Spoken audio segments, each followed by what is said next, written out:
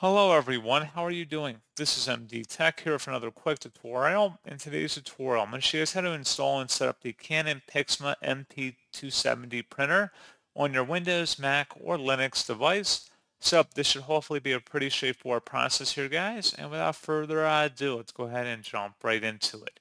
So all you have to do is open up a web browser, doesn't really matter which one, and you want to go ahead into Google and search for Canon PIXMA MP270 support.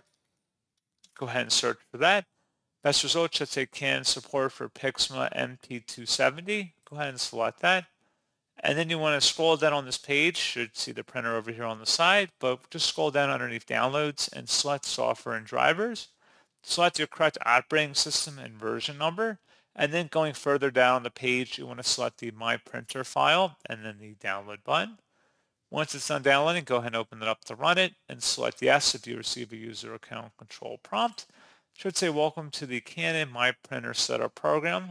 This program will install Canon My Printer on your computer.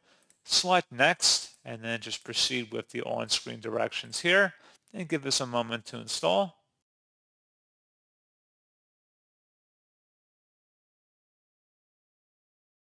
And you can create a shortcut on your desktop if you choose select continue, and then that should pretty much be it. If you're still having any problems, you can open up the utility and then just select the diagnose and repair printer option, and that will begin diagnosing potential common issues that might be affecting your connectivity.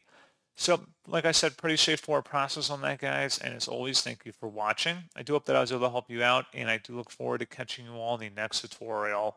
Goodbye.